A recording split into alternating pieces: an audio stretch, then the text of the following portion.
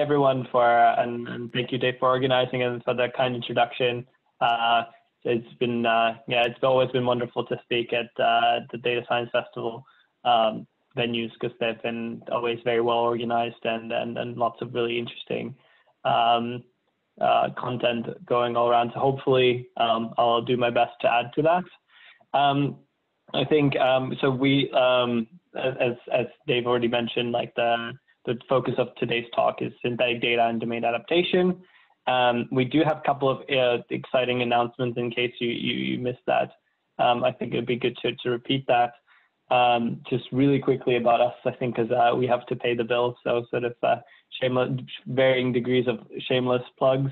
Um, I think the one that I think will be most interesting to everyone is that we're giving a giveaway of free three uh, e, e, e copies or ebooks of the of uh, the book that I wrote. So uh, on, on generative adversarial network. So if you're interested in some of the stuff that we're going to talk about today, uh, there is uh, there is uh, definitely uh, three three copies that we're giving away, and, and all you have to do is just post on either Twitter or LinkedIn something that you found interesting from today's presentation, and tag myself or someone from the Data Science Festival, and then we'll do a raffle for those three copies.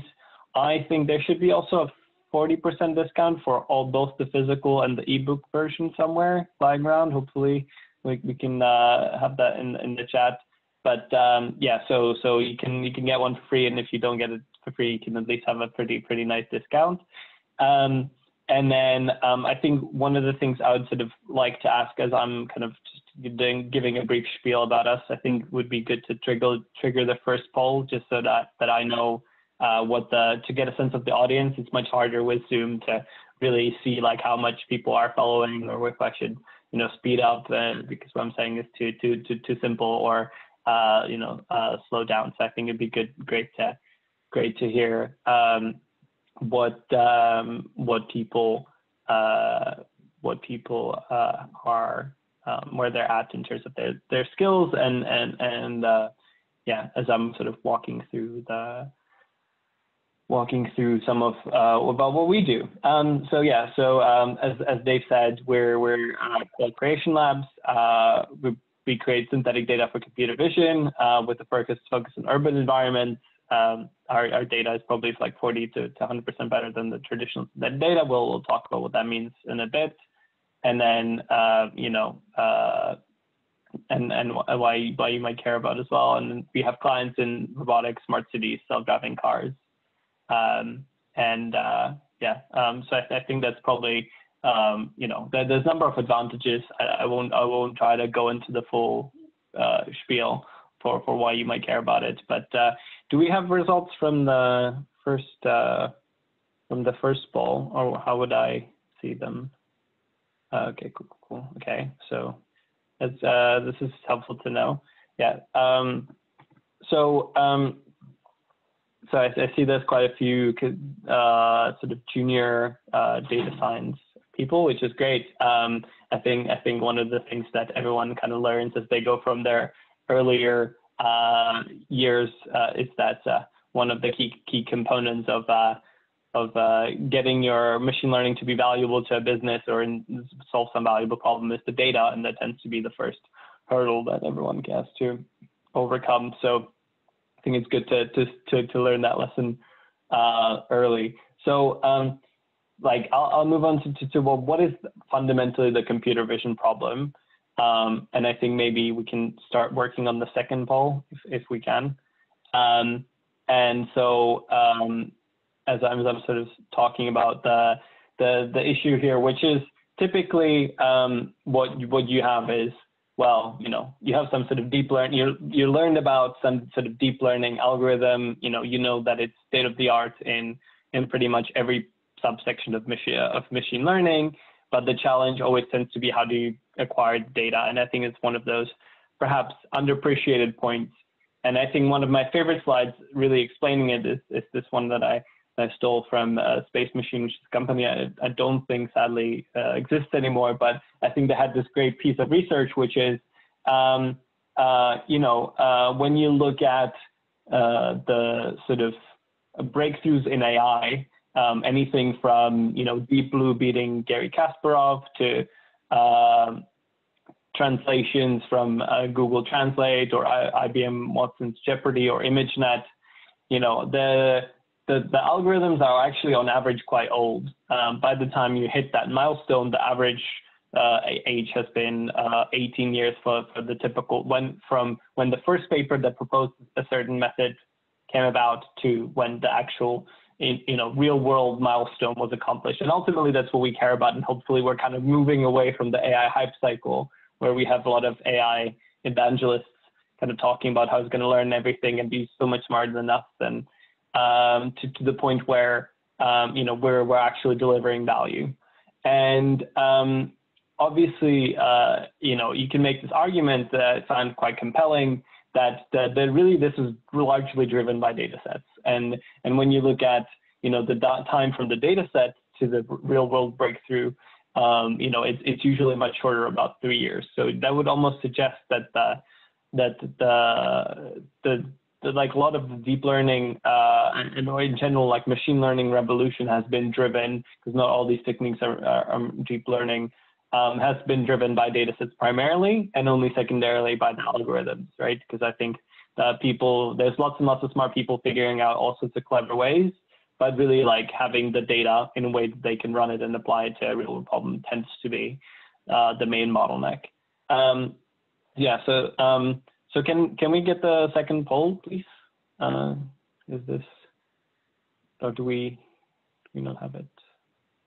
Um, either way. So I think I think um, you know obviously um, enterprises. Ooh, okay, enterprises face uh, lots of AI. Ninety-six percent of enterprises face face AI tra training issues. I don't I don't think that uh, that needs much much explanation. It's just that it's a very prevalent problem, and almost everyone has it. Um, you know, if you if you don't hear it from me, there's lots of people like uh, Andrej Karpathy, um, who is the chief AI officer at Tesla, and they probably have the world's largest computer vision data set but at the same time, they still struggle from a lot of these issues. Um, and so, yeah, so uh, data is very hard to, to come by and get right.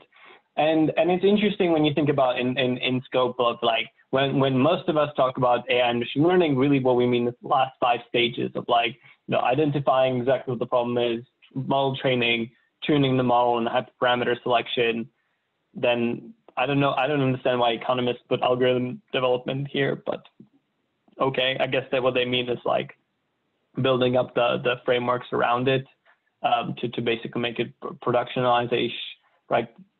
Productionized or operationalized, and um, and yeah, so um, that um, that has been that that tends to like comprise of what most people think about, but really like according to this this own research, right? Like most most time you spend like 85% of your time in uh, the cleaning, the labeling, the augmentation, uh, and, and, some, some of the aggregation. And I think that's one of those things that's perhaps underappreciated at, at, at, like pretty much every machine learning team I've ever been part of has always had the sort of you know data engineers and and and, and sort of discovery elements and, and software engineers um, I, I play a crucial role in uh, building out the capacity of, of, of data scientists and machine learning engineers to, to then you know look at the data and then deploy it onto some real world problem.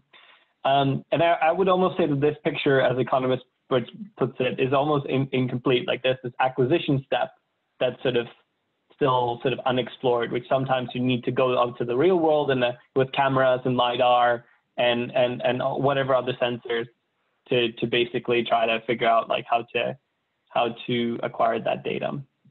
Um, so why is why is um, why is this so challenging? Well, I think one of the key challenges is, is sourcing the right data from with the right sensors. Um, so uh, obviously you can have like all sorts of different cameras. They all have all slightly different lenses. You'll have you'll need to have the okay.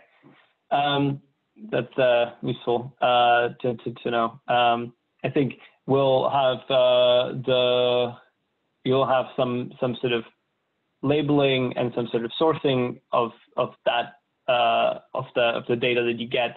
And I think pretty much pretty much everyone I know has always com been complaining about how hard is it to acquire and how hard is it to label? Because there's there's now probably you know hundreds, if not thousands, of data labeling companies, but pretty much everyone always you know need, needs to design an entire process around it, even if they're using an external agency. So you can like collect all your wonderful data and you push it out to some firm like somewhere in India or Philippines, or typically because they tend to be cheaper locations, and then um, uh, you, you still pay quite a lot uh, overall because you're labeling lots of images and you almost always get the data back and you're like, this is not quite what I wanted. And then you need to design a process around it. It, it gets, it gets a little bit tricky. Um, you know, you need to design the QA and, and all that. And then there's the step of curation and balance. And especially as, um, as uh, your, your computer vision pipeline hopefully matures, there's the step of where you're trying to basically curate the data set to be most closely aligned with your business problem, to represent all the data that you want to represent, and to not overrepresent certain cases of scenarios or, or, or data points, um, and sort of balance it out carefully so that it, it, sort of matches the real world performance. And then that's also a non-trivial step. Um, so one thought that you might have is like, well, I might use synthetic data to sort of balance that out. And um, that could be quite uh, that could be quite um, a good sort of starting point to just see like okay well uh, you know there are well what can I use? Well there are these computer games that have been going for a long time. They've gotten very good in recent years at being quite close to reality. Um, obviously there's still a lot of work and effort required so now you're basically trying to like reverse engineer reality but it definitely has some advantages, right? So what, if you have these 3D models, you, you can you can set up your own pipeline. You know, you can use Unreal, you can use Unity, you can use uh, Blender. Uh, I think these tend to be most popular. And then once you have that set up, the data generation is much cheaper. Um, and the variety that you can sort of parameterize, you can script it, you can say, you know, I'll, I'll make all these different scenes where the objects are positioned in, in certain patterns, and you can basically do like a grid search over what are all the possible combinations. You can generate even rare scenarios like, you know, that, you know, uh, a child is not going to run in front of a car very often, hopefully, but, you know, you can, you can script those harder to train, but more important scenarios. Um, uh, and then so you can, that way you can kind of create some of the balance in the, in the, in in the sense that your data set will then represent even the tricky and problematic scenarios that you absolutely need to get right. Um, and and I think that's one of the key challenges is that in these mission critical um, applications, uh, there's that limitation. And of course, um, you know, because you're starting from sim simulation, you have some some key advantages like rendering and annotations um, come come like hand in hand. So you can get pixel perfect semantic segmentation. So like a map of what that um, image looks like. Um, the annotation strategy can be quite flexible. So you can, especially early on when you're trying to still figure out, oh, what is it that I'm trying to actually like capture? Does it make, you know, do I need to split like, you know, different parts of the, the, the building up or can I just call it the building and just label the whole thing with a building pixel, or do I need to like this is a door explain that this is a door, this is a window, and so on. Um, and of course, that takes uh, quite a few iterations to figure out what matters. And, and I think that's one of the one of the key advantages. And of course, like it's sort of safe and private by design, so there's kind of come some interesting things. Um, yeah. So so it, let's say let's say you wanted to to try this and say, okay, well, that seems like an interesting avenue to explore. Uh, maybe I could set up my own 3D rendering pipeline and just build, you know, see how that computer vision algorithm performs. How would you test it? How would you convince yourself that this works? Well, so you, you could run an experiment. You could sort of take a computer vision game and and uh, you know train a semantic segmentation network. So in this case, like basically just you know, having certain labels and saying, you know, this is a car and then um, this is a tree and then this is a building, right? Um, you could you could you could do that, and then you can train a neural network that does the semantic segmentation. That's fairly well understood task. You know, there's many many ways to do this, and uh, and you test on real. So you take that game engine, you take the simulated labels that you get for free, and then you basically test on reality, like, does this help or not? Um, and then you can you can sort of see like, well, what if I were to do with the with real data? So you can take, you know, an open source data set like cityscapes, but it could be anything. Um, and again, you know, a lot of these have been carefully annotated, uh, sometimes painstakingly taking, you know, to hundreds of thousands of, of people, of hours of people's time. And then you can uh, effectively do the same thing, see how that performs on that exact data set. Now, you would obviously expect that the, the sort of train, that even if you do the train test split as is best practice within machine learning, you would still expect that the second experiment would perform better um, just because is literally you're training and testing on the same data distribution. Whereas there's obviously sort of a domain or, or distribution difference between the synthetic world and the real world. Uh, on top of the fact that obviously in each case there are the images are completely different, um, but there now there's this extra problem of of not just the images, individual images being different, but also the domain being different. Um, so, um, you know, as, as expected, when you run this, um, you know, when you kind of do um, uh, measure the semantic segmentation accuracy, so basically like for each pixel you measure, is that the pixel was supposed to be, yes, no, and, and so it's basically out of 100. And so we can say like, okay, um, on this particular metric, you know, when you just take cityscapes you get somewhere um, around 80% accuracy, 85 I think, and then on on GTA you get somewhere like 42, 43%. Um, and and you know this kind of matches the qualitative performance. So when you when you train uh, something on on Grand Theft Auto, which is the the data set, the computer game that the data set came from, um, you know it doesn't perform particularly well. Like this is the target, this is the semantic segmentation. You're trying to identify the cyclist, this road, you know, uh, the, the, the, foliage and, and then the traffic uh, signs and poles. And of course, the prediction is like all over the place. Like we can all agree that this is not a good prediction.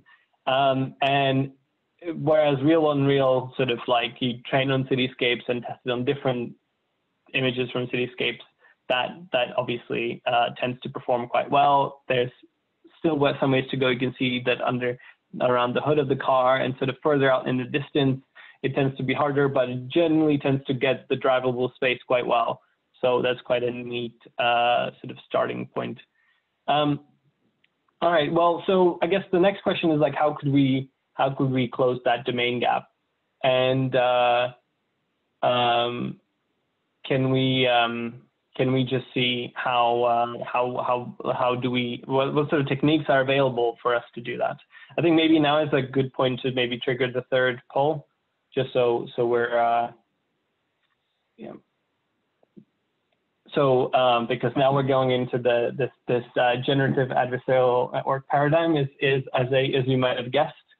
Um, and I think it would just be good to get a sense of in the room whether how, how uh, carefully should we approach this. But um, yeah, so the idea, as I, as I sort of hinted at, is this that the generative modeling to, go this close to sim-to-real gap, as it's known in the academic literature. Um, and um, so a number of people have done this. Like this is uh, on the right here. You can see a sample of, from a paper from NVIDIA where they try to basically recreate realistic um, sort of settings in the um, in in in the simulation by using sort of scenarios that they thought were kind of easily modelable, and then they kind of closed the loop by reenacting whatever they found in the simulation in the real world. Um, so um, can we can we see the results from the? Cool. Okay. Right. Okay. So most people, most people are in the. They haven't started too much with GANs. They have. They may might not know at all, but they have read about them sometimes. But most people haven't really done much more. Okay. Cool. Yeah. So um, that's good to know. So it's basically um, the. Yeah. So so basically, you can kind of try to come up with some way of of generalizing to this other domain by by training neural network, right? Like ultimately um, it's actually not that different from semantic segmentation. It's image to image translation. You have one image in and you're trying to get another image out. Um, and so you're trying to basically just kind of remap what that simulated image would have looked like in the real world. So where we where we're ultimately trying to get to. We're ultimately trying to start with the same 3D pipeline that we've already discussed, and then we're trying to take a sample of the real world, sample of the real like target data distribution, and and effectively use domain adaptation to to create photorealistic images. So um, in in uh, in in our book as well as like in the literature, I think one of the most exciting ideas is this idea of CycleGAN, um, and uh, we can sort of start. I guess is is given that most people haven't really uh, heard about or know know uh, too much about GANs. I think it's good to start with a analogy. So um, what GANs is is, basically it's two neural networks. One of them is the sort of dis discriminator, uh, which is basically like a detective in, in uh, trying to unravel like forgeries. And then you have the generator, which is like a forger who's trying to come up with, uh, you know, like fakes of, uh, of, of, uh, of well-known pieces of art. And, and it's like a cat and mouse game between the generator who's trying to come up with more and more realistic images and the discriminator who's trying to basically distinguish like, is this real, is this fake? And, and uh, probably given that we were in the machine learning machine learning and deep learning era, it should probably not surprise anybody that both of these are then neural networks um, that basically you know take a uh, take a book from the convolutional neural network literature and um, start you know with with some sort of seeding factor like the some sort of inspiration for the generator then the generator produces out an image and then the discriminator intermittently gets an image from either the generator or the discriminator and is trying to figure out which is which. So more formally, this is what it looks like. Um, so yeah, like number one here is this sort of like, you know, uh, example of, of real training data that could be something like uh, MNIST, which is the hello world of computer vision. It's like this 28 by 28 uh, grayscale images of digits. Um, but obviously it scales up to more complex things, but that's usually what people start with. Um, and then the second step is there's this sort of latent vector, so-called, where you sample from that, um, you feed that to a generator, and the generator uses what's called a transpose convolution to basically ex expand that out to be um, to be a uh, of the scale of the same same scale and size of the image, and then um, you basically give that to the discriminator, so the discriminator just sees two 28 by 28 matrices or more if you're using bigger batch size.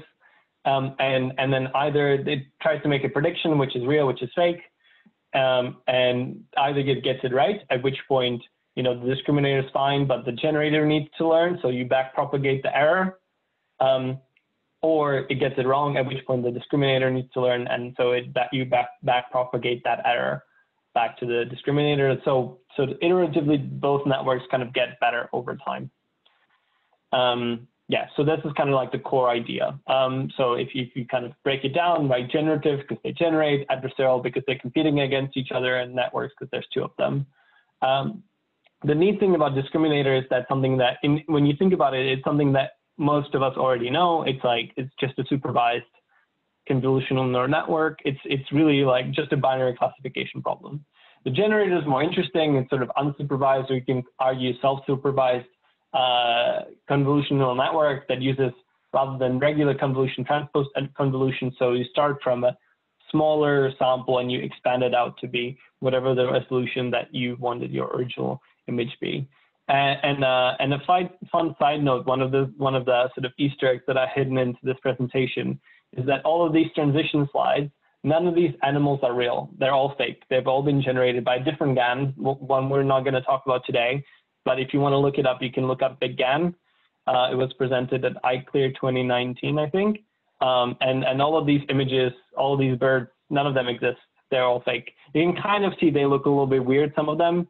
Um, and, and if you are wondering if you're having a stroke, you're not. Um, it's just that, you know, the network's trying its best and sometimes it kind of looks things that look very distinctively bird-like, but uh, have have things that where there's like some sort of birds uh, like sort of warped in a time-space continuum or something.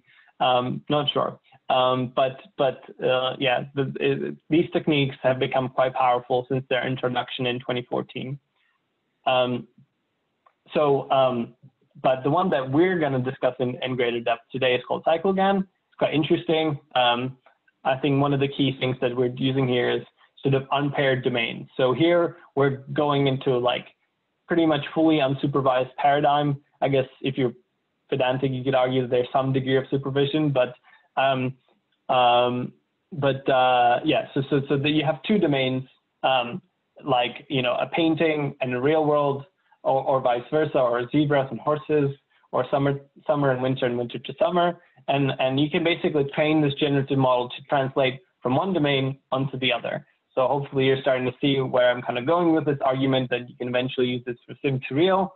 Um, but uh, but obviously it's no longer as simple as that image of the CycleGAN, oh sorry, of the original like of I think that was uh, non-saturating GAN um, that uh, that you guys saw on the slide earlier. Um, but I mean, in principle, like now, like at least on the on a high level, like the idea of translating one domain A to another domain B is quite powerful. So how do we do that? Well, so we start with some input image, and and in this case, uh, you know, what else to compare about apples and oranges? Um, so um, you start with some uh, sort of input image, and then you sort of run this you run the first set of discriminators. So now you have two pairs of discriminators and two pairs of generators. So um, you you start with that um, first image and you evaluate the discriminator, and that way you get the decision: is this real or fake? Obviously, because that is the original image. In the A domain, this should still be real. Then you use the first set of uh, generator, which is the generator that maps from domain A to domain B, so from apples to oranges, and, and then you evaluate it again. Hopefully this time your discriminator will tell you that this is not real and that um, you should, uh, that, that this is fake because you've translated it from that original A domain, which was, what was originally an A picture, into the B domain, into an orange domain, which is now the B picture. And then um, ultimately you get a you get a you get a, a, sort of translation back from from from domain B from oranges to, to apples, and that way you get a reconstruction of that original image. The reconstruction is quite powerful because um, you can then measure the original input and the reconstructed output, and that gives you a cycle. Um, so um, like the same way you might the same way you might uh, have sort of uh, test your translator uh, by giving them a sentence from English to French and then from French to English. Um, if those two sentences don't uh, don't end up being quite similar, then then you know your two translators are probably quite uh, disagree or are quite bad. So I think that way you can kind of measure the performance of like how well you're doing, which is a really neat idea because it doesn't require you more knowledge than the fact that there are two domains and which image belongs in which domain. Um, so how I think I think sometimes people people get confused by how is it even possible to have a generator. Typically, this is not something that's not very extensively covered in most machine learning courses because people tend to like always think of, of neural networks as this linear flow towards smaller and smaller number number of uh, smaller and smaller resolution with increasing number of channels, the way you ultimately get some sort of classification decision or maybe bounding box decision or something similar. Um, here, the degenerative problem is a little bit more interesting in the sense that you frequently need to go down to, to sort of some shared representation. So this, this sort of, if you don't think about the second, the right half of the picture, the, the left half should be fairly similar to, to what a normal convolutional neural network looks like. You, you have them some sort of, uh, sort of three channel resolution, and then you kind of start distilling that down to some like lots of channels, uh, about very small resolution.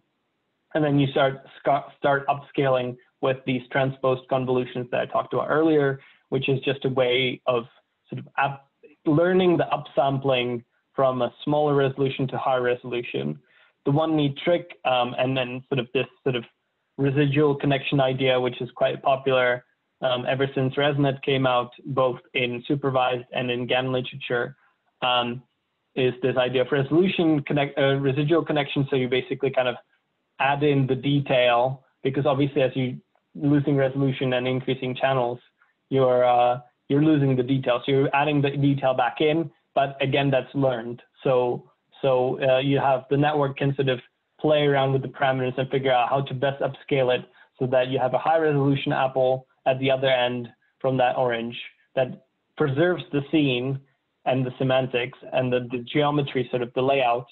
Um, but at the same time, it does change the orange or just changes the zebra.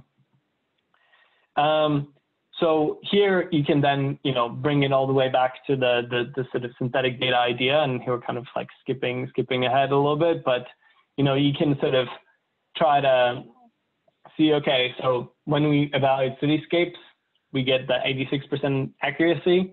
When we just do renders, we get about 42. And when we sort of train the sim to real cycle GAN, we get about 55, 52% um, lift. Um, it's still far from, from real data. I think you can kind of see um, that it's obviously better than, than uh, the original GTA, but uh, you know, the, like still lots of very important issues have been missed. Like the sidewalk here um, has been completely missed. That, that's a very serious problem. Um, and, and obviously the, the label around this, these edges tend to be uh, missed as well. I think the drivable space team, seems to be detected more or less okay, but it, the, the sidewalk is a big issue. Um, so these are the, the examples of these domain translated images. So here we start with some um, GTA example. Uh, and you, if you've ever played GTA or watched videos of it, um, you can still make it out that this is obviously where, where this was taken, but now it has this like dreamy, hallucinogenic kind of vibe to it. Um, that is quite common with, with translation networks. Um, I think typically um, there's lots of research in the literature that neural networks tend to focus more on the texture than they do on the actual um, on the actual sort of geometry, uh, much to to uh, a lot of people's surprise. So what's important here is that you added the right texture and haven't changed the geometry too much because um, if you did, then you know the network itself will be quite confused. You need to sort of implicitly have the right texture at the right place. So one way to compare that is like then to compare back to the back to the semantic map, and it seems that it's doing that quite well. So we could see where the improvement likely comes from. So we start working on, on this in, in a while, so I think it's just kind of an interesting uh, sort of note where, where you can take these. And and uh, and one of the things that we worked really hard is is try to make sure that you kind of take this sort of domain adaptation to a place where it looks quite quite realistic. Um, and hopefully you can kind of see that you you know we got rid of a lot of this weird texturing, a lot of these like weird dreamy artifacts, and the sort of blended the the the image uh, much better together. Um, made the cars less shiny. I think you can kind of see here that the cars are very distinctly like a different object, which which helps the network quite a bit. Um, the trees and the foliage tends to be much more realistic. You can uh, foliage and, and trees in general tend to be a big problem in computer vision, oh, sorry, in computer graphics for a long time because they're very complicated. Trees and trees and, uh, and sort of uh, roots and, and leaves, like all these organic things tend to be quite difficult to model because 3D artists are, you know, expensive. They don't want to spend hundreds of hours on a single plant on the corner of a scene, but nature doesn't care. Nature is going to make it very complicated. Um, and so I think that's one of the things that domain adaptation does quite well. The, the, you can also notice that the, the, the, the sort of street uh, texture and the road texture is much more European because the sample of the data is European, but also it's much more realistic. Um, and, and, you know, indeed, it turns out that you can, you can get effective performance that's comparable um, and and because you now have more data, um, you can you can you can you can even surpass on the same test set, the, the fixed test set that you always had, you can even surpass that performance uh, as measured by semantic uh, segmentation accuracy. And you can kind of see that the prediction of domain adapted on, uh, Unreal is, is quite good. Um, I, I don't see any major thing on the prediction that I would be, yeah, I mean, sure, there's like corners that could be better, but that's almost always the case, even with the real network like here, right? The network also gets, even the real Unreal network gets, uh, gets some things wrong. So I, I think it, it tends to like generally get, get pretty, pretty good performance. Um, so, I mean, here's just a breakdown. I, I mean, typically this is just for the, for the, for the, for the tr true hardcore computer vision nerds. Um, so this is the per class breakdown of, of the performance. Um, you know, here you can see that on every class we're, we're comparable. Um, sometimes we're a little, little better. Usually it's about as good as or, or, um, generally comparable. Um, this is a different metric, uh, one that favors um, a little bit more like capturing each class separately. So, so it, it sort of favors um, sort of identifying objects over just raw accuracy because if you know 80% of your picture is road, the network will learn very quickly that just predict road and you'll be right 80% of the time. So this the, the MIOU metric, which is quite common in, in segmentation literature, um, it tends to fit, like sort of penalize that a little bit. And and and here you can see that you know the performance does drop, but it's still very similar to to the to the the original um, performance on just real Unreal. Um, like other reasons why the, the, the sort of synthetic data could be interesting, especially for detecting like the weathered and damaged assets. So we have we've done some prototypes around like detection of like potholes and and and generally like uh, I think if if you are thinking about applying domain adaptation to your own company or in your own projects, one thing that could be quite interesting is, you know, hey, can we make this, uh, can we can we maybe solve some of the sort of natural damage and natural weathering that we see around? That's quite hard to model with computer like with computer graphics. Like you can do it, but it just takes takes a long time to to to to get the assets exactly right. Um, yeah, so just some closing thoughts. Um, and uh, happy to answer any questions afterwards.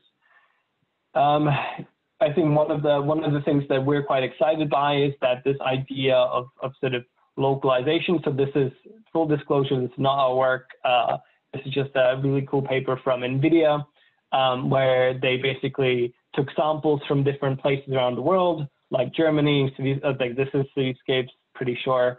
Um, then then they took like um, I think this is Berkeley Deep Drive, and I'm not sure what these other two data sets are, but they took different uh, different uh, data sets from around the world, and they fed them the same exact sort of underlying geometry, um, and and they resynthesized in that style. And you can see that the network has learned like to to create like sunnier San Francisco and sort of like somewhat gloomy but like more more American looking New York and uh, you know, uh, like if, if you wanted more more foliage, like you can get sort of more outdoorsy data sets.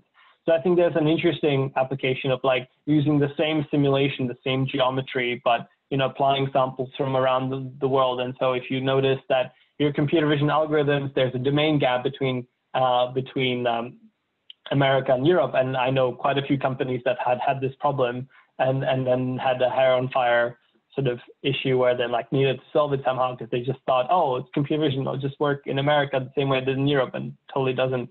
Um, so um, so yeah, so so that way you can sort of at least narrow the gap between between uh, the two domains. Um, yeah, I mean, I th I think um, this is just some something that um, we're, we're, we're, we're kind of not touching at the moment, but I know quite a few people working on this. So I think it's kind of interesting to mention, especially given that, uh, you know, medical applications of machine learning are quite, uh, quite popular these days. Um, this can absolutely be applied in, in medical domain as well. Um, you know, so, so like companies like Kheiron, um, so this is from their paper, um, have used this to like synthesize um, all sorts of like mammo, like full full spectrum digital mammograms and and and people have pretty much any type of medical data. Uh, I think I think uh, people have applied this to, um, and so it's quite interesting. I think from there they they they they personally have the story of where you can uh, where they gave this to radiologists at some like top American radiology conference, and all except like three couldn't really tell the difference between the real and, and synthetic. So humans are quite bad at telling those two apart. I think that makes sense. I think there's there's a couple of reasons why that's uh, why that probably is the case, but we can go into that later. Um, just some other examples. I mean, these are just like great prototypes that we have that I've kind of been building on the side for fun. Um, you know, just making like aerial shots more realistic or translating day uh, to night um, you, you, know, another like uh, sim-to-real example where I was kind of like seeing like how far I can push it, how bad, how old school can the render be and still get decent results at least some of the time.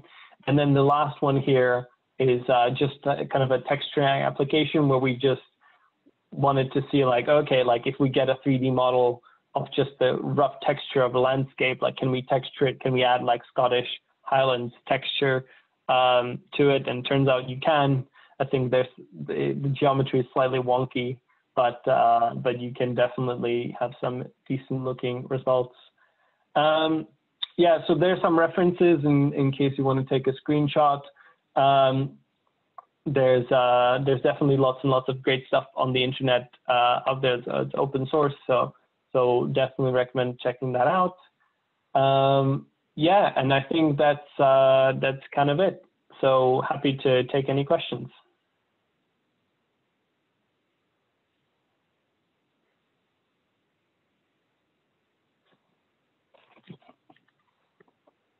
Bring it on mute, David. I join every Zoom meeting and just start talking, and it's the exact same thing. So uh, I'm hoping everyone has done the same thing at one point or another. So, uh, mate, if I just get you to stop sharing, um, actually, before you stop sharing your slides, I did notice one of these questions actually uh, related to a specific slide.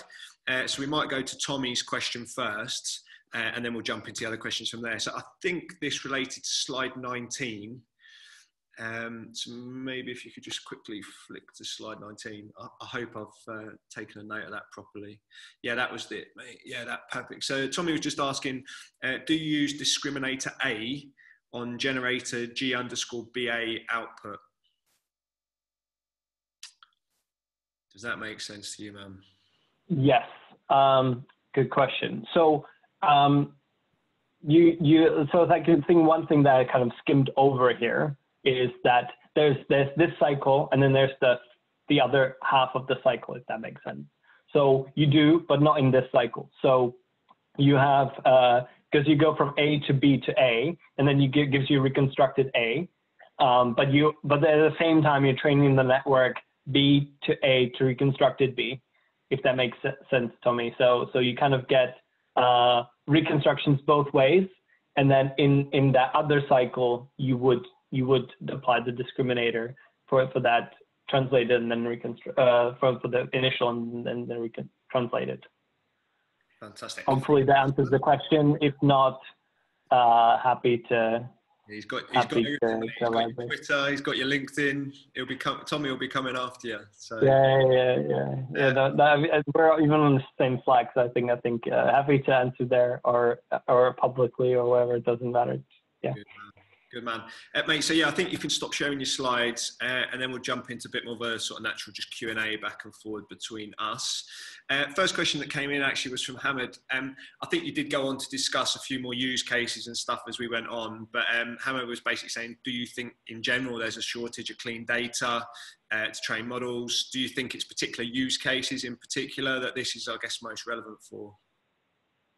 Yeah, I mean, I think that's a good question. I think. Um, so in general, I would say there definitely is a shortage of that like ideal clean data sets pretty much anywhere, right? Um, I think there is an open question, and I think that's kind of what, what it was alluding to is like, does this, this seems like a lot of work. Is this worth, you know, if I have my own problem and I wanted to like do this, that like at what point uh, isn't it just easier to just send out like 20 interns or 20 like uh, people from TaskRabbit with the world with GoPros and go and collect that data that way.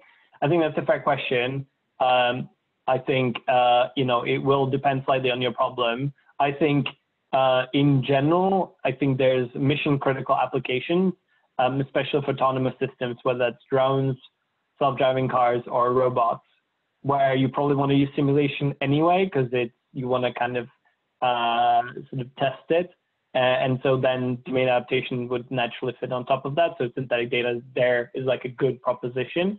Um, you know, if, if you have, if you're doing something that's fairly like static, right? You're trying to um, determine something that, that where it doesn't like the errors don't matter too much if you're like just trying to do like, you know, uh, customer analytics on like CCTV, right? Like you and and it really doesn't matter if you like every now and again, you know, uh, or like sort of age someone incorrectly or uh, gender someone incorrectly, like that. You know, it tends to average itself out, uh, and so uh, you know these types of applications probably does make sense to build a full like simulation of them all just to get this uh, data. You there's probably easier and cheaper and faster ways to get it. Um, I think medical is another interesting area. I did mention that because I think uh, a lot of people are playing around with synthetic data for medical applications. I think there's other challenges with it, but just because it can be so expensive to get certain types of data, um, and even then you get only very limited amounts. And especially if you're looking for like really rare diseases or tissue patterns or whatever, then uh, it can be quite hard to collect it naturally. So um, I think that tends to be a good area. But yeah, definitely like it's worth thinking about is there an easier way to solve it? Because this is not a solution that, that that's like, you know, optimal for, for every problem. Okay, Mate, that makes sense, definitely. Thank you. Uh, next question from Adam. Uh, he's saying uh, domain adaptation looks like a powerful way to stylize images. Uh, why can't we use style transfer or you know simpler existing techniques? Yeah, yeah. Um, I think that that's it's an important question. I think it's always good to ask ask yourself like, are there is there a simple way uh, to do this.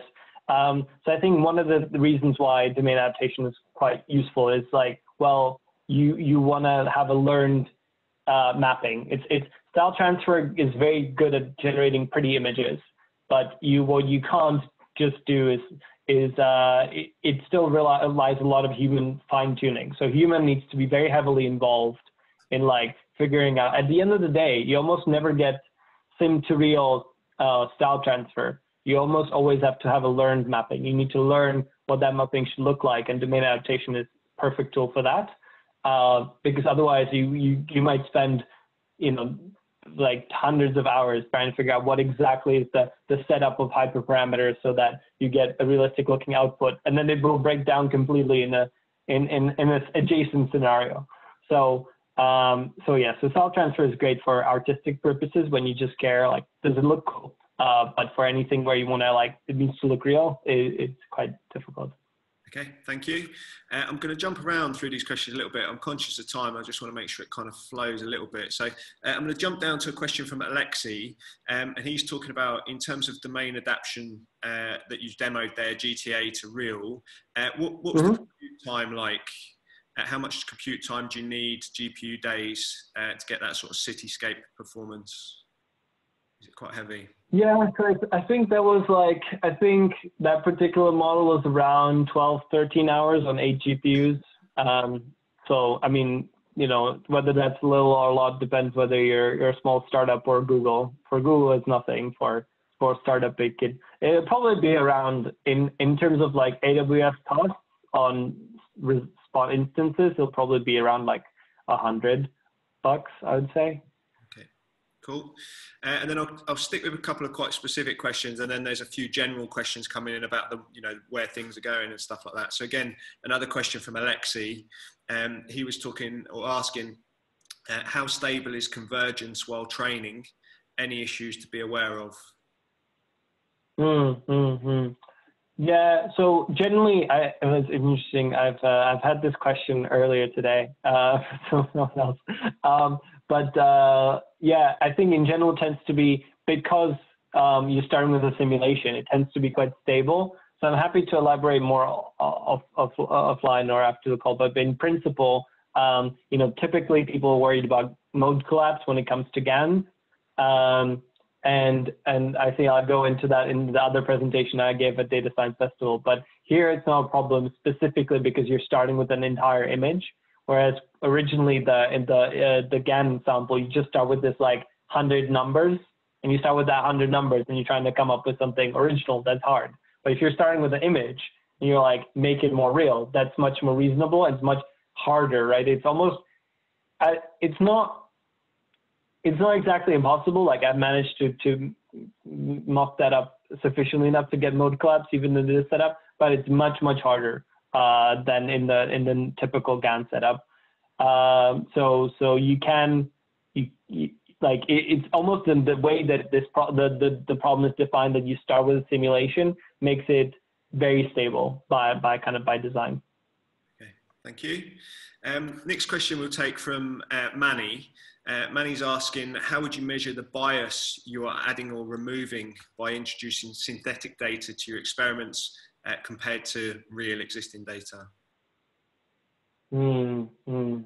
And and I guess I mean I guess it depends on on on on what kind of bias we're because like, I guess there's like the what statisticians say when they uh, what they mean when they say bias, and there's like what most people mean when they say bias, and there's like the statistical definition of bias is a little bit different than the like you know the the definition of bias you'd find in the AI ethics literature. So I think that they they are quite different. Uh, if it's okay, can you Manny, can you maybe ask that question again and clarify what exactly you meant? Because uh, I, I, mean I, I want to answer. I just don't know don't know where, where exactly you're kind of going with it. Mate, we'll see if Manny comes back. We've got five minutes, Manny. You're on the clock, mate. So send in us another question. Um, uh, question is a little bit more uh, general. Um, again, it was actually Manny that asked this question, so he's doing well here, back to back. Um, he said, You've covered a lot of stuff. Um, you know, is there a recommended starting point? I, I, would guess your book would probably be the recommended starting point, eh? Yeah, I mean, I, I think, yeah, yeah, yeah I, I, think that could be a good point. I mean, I, I don't want to just, just like keep plugging the stuff that I do. I think, I think in general, there's a lot of great stuff on, um, on uh, GitHub. I think uh, I think there's a lot of lot of great uh, resources. Uh, also, like papers with code. I think that's uh, an, another sort of uh, like a London-based company. They're they're quite they're very talented, and they kind of just kind of grab all the data science like machine learning knowledge, and try to make sense of it so if you're looking for a good place to start, like I would recommend that just like a wiki for, for that, which is quite nice. nice. Um, Mate, thanks for that. It's nice to nice to share the knowledge there. It's good. Um, the next question uh, came in from Hamad, and I must admit it was one I was thinking as you were talking, and he's talking about the, I guess the future uh, of GANs and AI in general. And uh, I'm not sure if it was him or if I've just made it up myself, but in terms of the ethics mm. of some of this stuff as well, there's clearly mm. use cases for good. There's potentially uh, ways that this could be used in a bad way as well. Um, you know, mm. see the future of this looking like? How do you think it's going to impact society, both in a good and a bad way? Right. Yeah. I mean, so I think there's like the, the ethics of like synthetic data. There's the ethics of, of GANs and there's the ethics of AI. I think ethics of AI I probably won't even attempt to tackle. I think it's, too much. I think, um, I think if we take the middle level, just so that we're not focusing just on synthetic data, I think GANs in general, like obviously have really interesting artistic applications, creative applications. Um, you know, in synthetic data and visual, like creating visual, like virtual worlds that are quite realistic, you know, AR, VR, movies, games, uh, synthetic data, all those types of things. Um, so I think obviously that that that's useful. I think the problem is, you know, as we get worse at, um, you know, distinguishing uh, what's real, what's fake, like that that could it could be somewhat concerning. I think in my head, I think there's two things that I think in, important to mention uh, on, on the sort of abuse of these techniques. I think there's um, there's uh, like first of all, at least currently the state of the art in in deep fake detection, which is probably one of the again deep fakes is not all bad, but it's probably the most uh, what most people think about when they think about generative modeling, and also not all deepfakes are GANs, but um, that I, I, won't go into that. Um, it's um, yeah, so so I think I I can understand why people would be uh, concerned about this. Currently, uh, though, it seems quite easy uh, to train a machine learning model that e even when humans can't tell apart what's real and what's fake, a machine learning model can. So so far, that seems to be a, a potential way to solve it. And then um, there is, um, yeah, I, I guess on the, I think the other thing I would say is that like you know people fall prey to, to, to fake news that are much, much less complicated than having your own entire GPU set up, right?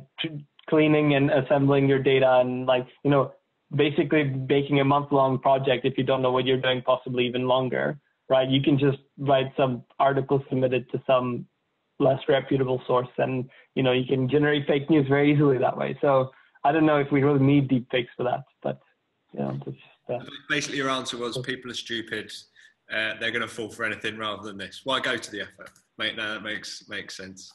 Um, Manny's come back uh, again. Actually, he he's basically said he wants to know from both angles, but I think primarily he was talking more from the statistical uh, side of things in terms of the bias.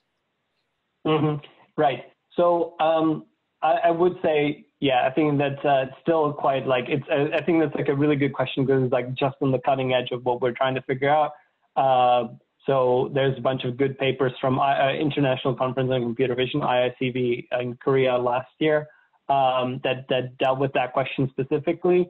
Um, it was, um, yeah, so, so I think in, in general, like you are definitely introducing some, some amount of bias um, into it because you're replicating the patterns that you've already seen. I think as you get bigger, uh, bigger, uh, model and bigger data set to train your domain adaptation on, that data set, the dead bias eventually goes to zero. Um, I think, um, yeah, but the, there's definitely like a degree of, of sort of like, like you're, you're assuming that, that, that the, the, the, that you've correct, collected the right data set, right? Like what it's not really the solving completely is this idea of like, oh, we're just gonna like, uh, make every situation that you've generated in the simulation look photorealistic, even if we've never captured that situation in the real world. Like that's that's a that's a bit of a steep ask. It will try to come up with the best answer, but it will it'll be biased towards the situations that it's already seen. Um, so yeah, I, like as you get as you get collect more more data, and, and the good thing is that you can collecting unlabeled data tends to be easier, so you can probably just get around it that way. Perfect. Uh, mate, we tried to keep these things to one hour um, and we've gone just slightly over. So if you can answer this next question in like 30 seconds, uh, that would be cool. But it's from Shruti um, and they were asking, is there anything that springs to mind from the public sector? Is there any use cases that spring to mind in the public sector? Yeah, I mean, it's an interesting question. I think every time I have a talk on GANs, people always ask me on on on, uh, on applications, and I think this is a this is one application. I think specifically synthetic data. I think uh, you know you could maybe do like you know some sort of different like differentially private social distancing, uh, you know, detection, something like that. Uh, I don't know if there's anything specific to public sector. I think in general, like when anytime you have a CCTV system for example, I'm guessing that's probably the most common in public sector. Uh, and you want to have something that doesn't use real people and is private, then synthetic data could be an interesting way. Um, yeah. Mate, that was brilliant. Uh, we've uh, we've smashed through those questions. We've kept it to just about an hour. So, uh, from my perspective, absolutely fantastic. R- really, really enjoyed that. Um, my mind was blown in certain places, and uh, mate, you've done a great job with the questions. You always get the content across in a really uh, nice and informative way, which is great. Um, thanks to all you guys for joining us uh, as well. Um, really appreciate it. Really appreciate the interactive. So if you have enjoyed it, uh, please do just give us a little tweet or shout on uh, LinkedIn or whatever. Same for Jakub, uh, obviously for giving up his time. So uh, thank you very much, Jakub. I don't know if there's anything you want to finish with just before we go. No, I think it's. I just want to thank you for for inviting me. It's been a pleasure. Thank you so much. Top man. Thanks everyone. We'll see you next week. Okay. Take care. Bye bye.